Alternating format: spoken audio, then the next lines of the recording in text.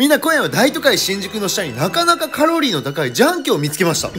実食なんと秀夫一枚で煮干し二郎系家系のレジェンドラーメンが楽しめる優れもの時は花金の仕事終わり後先構わず二郎系を選択すると予想とは違いこういったものが出てきたすごい重い通りすがりのおっちゃんが言う通り6 0 0 g 2 0 0 0 k g 超えとラーメンでも横綱級でもそれ以上のインパクトはこの妥協してないぶっとい麺そしてスープを解凍するまでは見えなかった僕の脳みそぐらい大きいチャーシュー食べ過ぎは注意してまた